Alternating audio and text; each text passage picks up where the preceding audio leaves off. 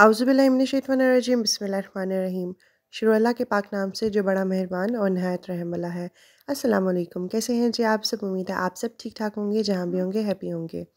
आज हम रमज़ान स्पेशल बहुत ही कमाल का स्नैक रेडी कर रहे हैं, जो कि बहुत ही इंस्टेंट है और डिलीशियस बन के रेडी होगा। तो आपने इस वीडियो को फुल वॉच करना है, बिल्कुल भी स्किप नहीं करना। तो आए हम बगैर टाइम वेस्ट किए अपनी वीडियो स्टार्ट करते हैं। बिस्मिल्लाहिर्रहमानिर्रहीम। सबसे पहले आपने क्या करना है कि आपने एक पैन ले लेना है। उसके अंदर आपने टू टेबल स्पून जो है वो ऑयल ऐड कर देना है। ऑयल ऐड करने के बाद हम इसके अंदर तीन टेबल स्पून जो है वो चॉप्ड अनियन ऐड कर देंगे। यानी कि आपने तीन टेबल स्पून इसमें प्याज का ऐड कर देना है। उसके बाद मैंने इसके अंदर वन से दो टी स्पून जो है वो लहसुन को अच्छे से चॉप कर लिया था और वो भी हम इसके अंदर ऐड कर देंगे। हम इन दोनों चीज़ों को एक साथ ही हल्का से सोते कर लेंगे, बिल्कुल एक से दो मिनट के लिए। उसके बाद आपने इसके अंदर चिकन बोनलेस ऐड कर देनी है। यहाँ पे मैंने 250 ग्राम से थोड़ी सी ज़्यादा बोनलेस ऐड की है। आप चिकन की जो क्वांटिटी है, वो अपनी मर्ज़ी से ज़्यादा ही कम कर सकते हैं। बस अब हम इस चिकन को, इस प्याज और जो लहसुन हमने चॉप करके ऐड किया, उसके अंदर कुक कर लेंगे। आपने इस चिकन को तब तक कुक करना है जब तक कि जो इसका कलर है, वो चेंज ना हो जाए, यानी कि हल्का हल्का वाइट कलर का हो जाए। हम इसको तब तक पका लेंगे। तो जी, यहाँ पे देखें इसका कलर जो है, वो चेंज हो चुका है काफ़ी हद तक, यानी कि 80 परसेंट तक जो है इसका कलर चेंज हो गया है। अब हम इसके अंदर स्पाइसेस ऐड कर लेंगे। हाफ़ टी स्पून से थोड़ी सी कम हम इसके अंदर लाल मिर्च पाउडर ऐड करेंगे। वन टीस्पून हम इसके अंदर कुटी हुई लाल मिर्च ऐड करेंगे। हाफ़ टी स्पून हम इसके अंदर कुटी हुई काली मिर्च ऐड करेंगे।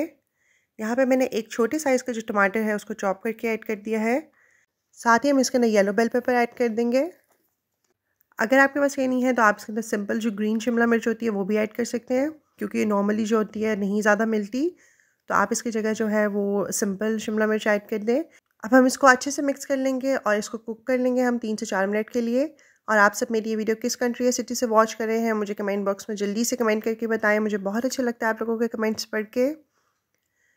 अब जी, हमने इसको अच्छे से कुक कर लिया है तीन से चार मिनट के लिए। इसके बाद आपने इसके अंदर हाफ़ कप से थोड़ी सी ज़्यादा जो है वो फ्रेश क्रीम ऐड कर देनी है। यानी कि आप इसके अंदर किसी भी ब्रांड की क्रीम ऐड कर लें, जिससे जो इसका टेक्सचर है बहुत ही ज़्यादा क्रीमी और फ्लेवरफुल आएगा। अब जी आपने इसको अच्छे से मिक्स कर लेना है, उसके बाद आपने इसको five two six minutes medium flame के ऊपर अच्छे से कुक कर लेना है कि हमारा जो चिकन है वो भी अच्छे से गल जाए और क्रीम की भी अच्छे से मिक्सिंग हो जाएगी। और आप सब जो जो मेरे चैनल पे न्यू है, अगर आप लोगों ने मेरे चैनल को सब्सक्राइब नहीं किया हुआ तो प्लीज़ मेरे चैनल को सब्सक्राइब कर दीजिए, मेरे चैनल को सपोर्ट करें और आप लोग मेरी वीडियो को लाइक भी किया करें ज़रूर। और जिन लोगों ने ऑलरेडी मेरे चैनल को सब्सक्राइब कर दिया हुआ है, उन सबका बहुत ज़्यादा थैंक यू अल्लाह ताला आप सबको सलामत रखें, आमीन। तो जी, आप इसका टेक्सचर चेक करें क्रीम अच्छे से कुक हो चुकी है, हमारी चिकन भी गल चुकी है। अब बस आपने इस स्टेज पे इसका जो फ्लेम है वो ऑफ़ कर देना है, अब हम इसको साइड पे कर लेंगे। अब हम जो है जल्दी से असेंबलिंग कर लेते हैं अपने बर्गर्स की। तो जी, यहाँ पे मैंने सिक्स मंथ्स ले लिए हैं। आप किसी भी ब्रांड के ले सकते हैं, मैंने यहाँ पे डॉन के लिए हैं। उसके बाद हम एक एक करके इसको जो है वो रख देंगे। उसके बाद हम इस पर सिंपल जो है वो गार्लिक मायो सॉस जो है वो ऐड कर देंगे।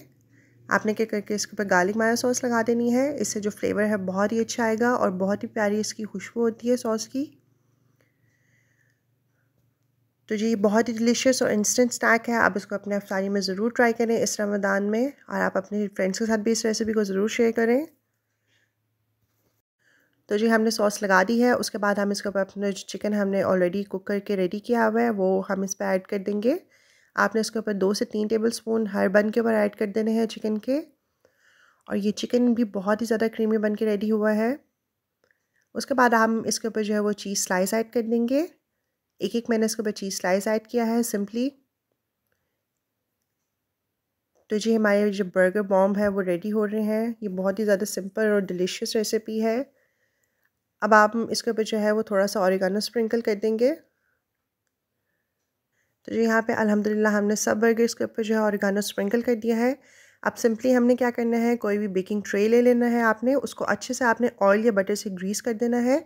मैंने यहाँ पे बटर से ग्रीस किया है, उसके बाद हम एक एक करके उसके ऊपर सारे बर्गर्स ऐड कर देंगे। और उसके बाद आपने क्या करना है, आपने इसको बेकिंग ओवन के अंदर बेक कर लेना है। आपने इसको तब तक बेक करना है जब तक कि चीज़ ना मेल्ट हो जाए। मैंने इसको टेन मिनट्स के लिए बेक किया था, टू हंड्रेड पे। उसके बाद हम इसको सिंपली जो है वो डिश आउट कर लेंगे। ये बहुत ही ज़्यादा क्रीमी चीज़ी जो है हमारे बर्गर बॉम बन के रेडी हो गए हैं। ये बहुत यूनिक और डिफरेंट स्नैक है। आप इसको ज़रूर ट्राई करें और मुझे अपना रिव्यू देना मत भूलिएगा। मुझे उम्मीद है कि आपको मेरी रेसिपी ज़रूर पसंद आई होगी। अगर आपको मेरी रेसिपी पसंद आई है तो आप मेरे चैनल को सब्सक्राइब कर दीजिए, मेरे चैनल को सपोर्ट करें। इस वीडियो को ज़्यादा से ज़्यादा लोगों के साथ शेयर करें, इस वीडियो को लाइक करें, इस पर कमेंट करें। अल्लाह ताला हम सब सबके दस्तखान में बरकतें डालें, हम सबको अपनी अमान में रखें, अपना बहुत ज़्यादा ख्याल रखिएगा और मुझे अपनी दुआओं में याद रखिएगा। अल्लाह हाफ़िज़।